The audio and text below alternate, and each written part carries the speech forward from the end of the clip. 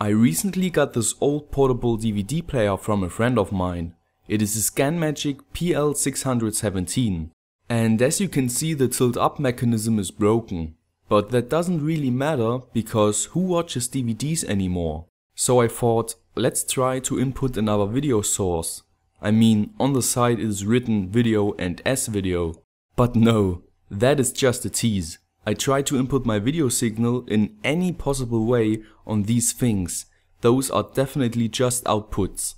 Time to open this useless player and hack my video signal into it.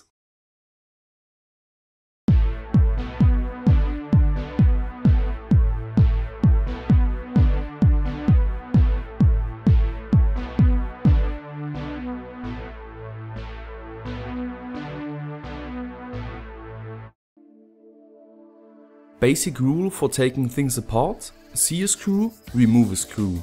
And I'm not really taking care of the case because it'll fly in the garbage later. Okay, here we see the main boards. The power board with a 12 volt input, the main processing board, the LCD driver board and the inverter for the cold cathode backlight. I removed the DVD motor and the speaker. I also took all the boards and the LCD out of the case and got rid of it. At the end I plugged everything back together and tested the LCD, which does its normal thing. Now I disassembled the LCD construction and ended up with a bare LCD and a cold cathode. Both of those still work fine afterwards and such a bare LCD is great for building a DIY beamer. But I was a genius while working on this project and broke the connector here. So I got to use this backup LCD, which I will not take apart now. Let's take a look at the boards and see what I can do. The main processing chip is apparently the CT908S. I even found a schematic in the depths of the internet and it really looks like an IC especially made for such gadgets.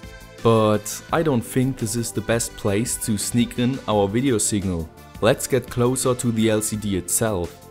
On the driver board is this IR3Y29B, which is according to the datasheet a video processing IC for TFT LCDs. That sounds promising. And take a look at pin 3, video in. That was almost too easy.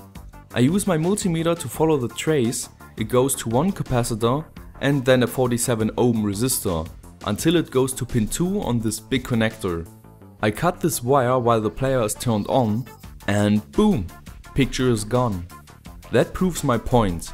Let's try to hook up our video signal to this wire.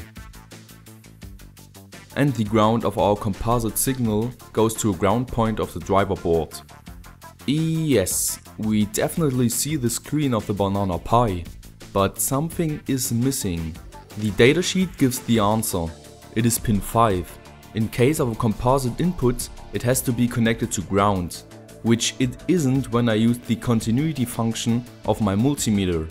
So again I follow the trace and it connects directly to pin 1 of the big connector. I cut the wire and solder it directly to a ground point of the driver board. Next try. I power everything up and... Perfect. Seems like everything works fine. If I still had the original case, I could add an input terminal and a mode switch. But for now this is quite useful and maybe I will use it in a future project. I hope you liked this small project. Leave suggestions what I should hack next. Stay creative and I will see you next time.